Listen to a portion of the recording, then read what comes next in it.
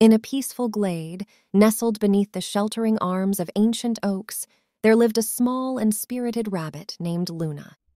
Luna's fur was a soft, dappled gray, and her eyes sparkled with boundless curiosity. One crisp autumn morning, as the leaves whispered secrets to the wind, Luna noticed a peculiar golden glint in the underbrush. With nimble paws, she uncovered a small, ornate locket, its delicate chain still intact.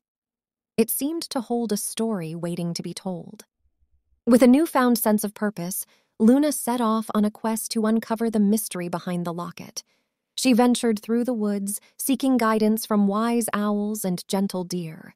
Along the way, she befriended a mischievous squirrel named Milo, who became her faithful companion. Through moonlit nights and sun dappled days, Luna's journey led her to an ancient oak tree, its roots stretching deep into the earth.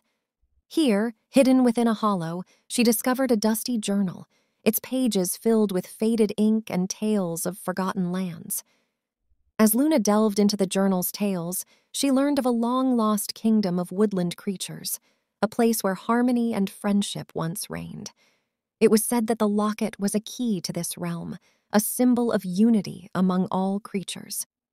With determination in her heart, Luna returned to the glade, the locket clutched in her tiny paws. She stood before the ancient oak and placed the locket in a hollow where it nestled perfectly. Suddenly, a soft golden light enveloped Luna, and before her eyes, the glade transformed. The once quiet glade now teemed with life. Woodland creatures of all kinds gathered, their hearts filled with a sense of unity and belonging. Luna had unlocked the magic of the glade, rekindling the spirit of the long lost kingdom. From that day forward, Luna and Milo became the guardians of the enchanted glade. They watched over the creatures, ensuring that harmony and friendship flourished. The glade became a haven, a place where all were welcomed, and where the legacy of Luna, the rabbit with the golden locket, would be cherished for generations to come.